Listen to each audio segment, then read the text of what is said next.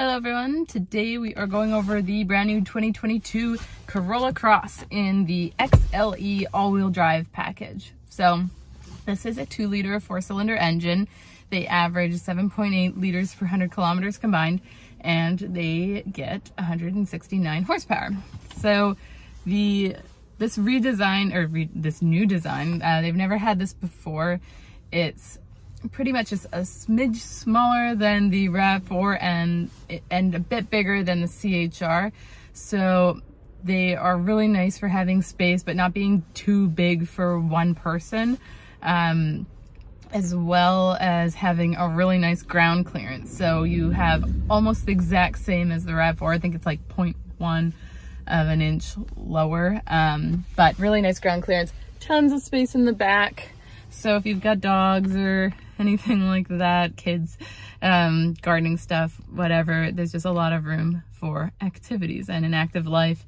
And I find a lot of people on the island have an SUV or a truck. So it's just nice to sit up a bit higher. You're not getting blinded by all of the other headlights on the road around here. So, all right, let's take a look, get into the interior, exterior, and uh, any questions you have. Here we go. All right, so it's exterior time for the Corolla Cross XLE all-wheel drive. To begin with, you have these really nice 18-inch alloy wheels, mud and snow tires. We always do that on our cars. Nice black wheel wells, chrome accenting along the sides here. Foldable mirrors, front and back, with your blind spot monitors. Oh, got a bit of glue there, gotta get off. Chrome, you have the roof rails on top so you can put crossbars if you like. Sunroof, I'll show you that from the inside.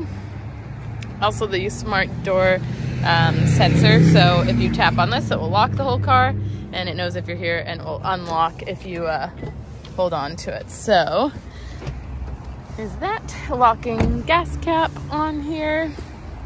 Little shark fin antenna. Kind of a nice lip there. And just a bunch of little tiny accents like where it says Corolla Cross just looks sharp. Parking sensors along the back. This is a power back hatch. It's the only model that has that feature. So a nice lift on there. Again, little accents that say Corolla Cross, just nice touches. Really cool compact SUV, very practical.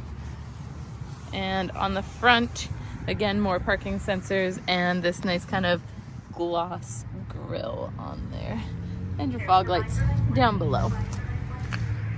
All right, let's take a look inside. So interior time here for the Corolla Cross. Have this nice Softex leather, eight-way power adjustable driver's seat. Even along the sides, nice soft leather um, with the chrome accents. I'm gonna show you in the back. You have your cup holders in the center, map holders on the back, rubber and carpet mats. It even covers the center there and says Corolla Cross. These guys do fold down. I'll show you on the other side. And again, like I mentioned earlier, power back hatch. So I'll let that open while I put this guy down. All right, little lip that protects the fold in between. So in this model, you've got your privacy cover. It's just easy to hide anything, but also easy to come out. It's just kind of like a pump action there. and that pops out. Carpet mats, as the rubber mat's already in there. As you can see, a lot of space. Great for dogs, gardening. Some people even like to try and camp out in here. Um, cargo net as well. In this model, you have the JBL audio, so the top of the line sound system. And underneath, your spare tire and everything that goes with it for your tools.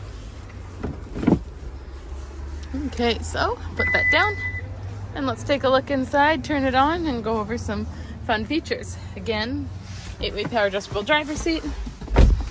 Having a seat in here that Softex leather with a little bit of white stitching You have handles for getting in and out, dome light. So foot on the brake for the push button start. Always very practical having that. If you ever try to lock your keys in the car, it'll let out a big long buzz as well to try and alert you to not lock your keys in the car. Handy feature. Softex leather um, steering wheel. And on the side here, you have your climate control, dual zone climate control. Right now it's synchronized to the driver's temperature, but if you like, you can just break that sync heated front, rear, and mirrors, eco, and then you've got all of your adjustments there. Heated seats, high and low. I'm a bit chilly, even though it's very nice out. Heated steering wheel, and your USB port. So you can connect for Apple CarPlay and Android Auto. Under here you have this deep, and it's also lit up as you can see, it's kind of like a light blue. Um, this is a wireless phone charger. So you just hit this button here and it will um, charge your phone. So you just lay your phone down and it will charge. Very nice uh, chrome accent on the leather wrap shift knobs, traction control, auto start stop. If you like that feature, you can turn it on or off. You have Triptonic changing, so if you want to change gears manually, it will pop up your gear where it says M1. So you can easily do that as well.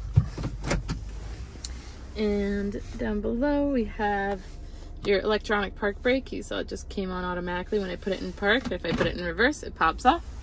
And the backup camera pops on with the dynamic turning on there. Put that back in park. E-brake comes back on automatically. Hold is a park brake hold. Every time you come to a full stop, it'll just hold you in spot and um, you can just use gas to go. So it's great for like stop and go traffic or anything like that. In here you have your power outlet. If you need to charge anything else, put that in there for now. Your display, this is your home screen. So um, you've got your music, your average fuel economy, which is gonna be wrong because we're only 10 kilometers old. So it hasn't really been driven much. When your phone's connected, you can have your four favorite contacts or um, you can call as well from your little talk button. You can say to call someone. And your music is all on there too AM, FM, SXM, and Bluetooth. So that is your whole in entertainment system. There's lots of different things you can do in there, whether you want to go through your menu or audio, everything's there. Auto dimming rear view mirror.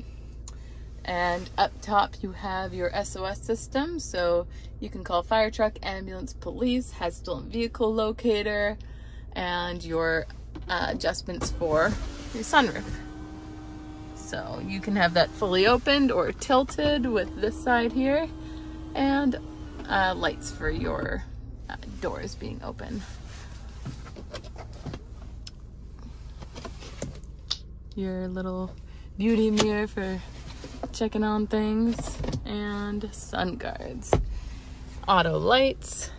You got your windshield wipers there, a back wiper too, and all the different um, settings you can go through on your dash. So pre-collision system that detects cyclists and pedestrians and cars, blind spot monitors that light up in your mirrors, parking sensors in the front and rear, rear cross traffic alert so it'll alert, uh, warn you when someone's driving behind you and it will also stop. The PKSB um, will uh, basically, if someone's driving behind you and you don't stop, it will stop for you.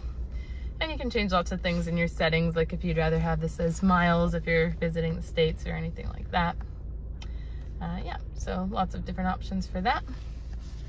And down here we have a windshield de-icer, power back hatch button so you can open or close, and your automatic high beam. So your high beams will come on automatically um, and turn off with oncoming lights. So overall, I really like the new Corolla Cross. I think that they did just a great job with the redesign. Um, has good visibility. It's a nice compact SUV where it almost has the exact same ground clearance as the RAV4 actually. Um, and the fuel economy too is is pretty almost in par. Um, but it doesn't feel like you're driving a gigantic vehicle. And if it's only one person as well, and maybe you've got dogs or you carry things around, gardening, whatever, or you're just like sitting up a bit higher, this is a great vehicle and lots of nice features. So I hope you enjoyed that. All right, so what do you guys think? I hope you enjoyed uh, my video on the new Corolla Cross. If you have any questions, shoot a message below and I'd be happy to hear your thoughts um, on this new design. I personally really like it and it's been popular already. We haven't had an available one on the lot yet. They have all been pre-sold, so that's a good sign. So I'll see you in my next Toyota video.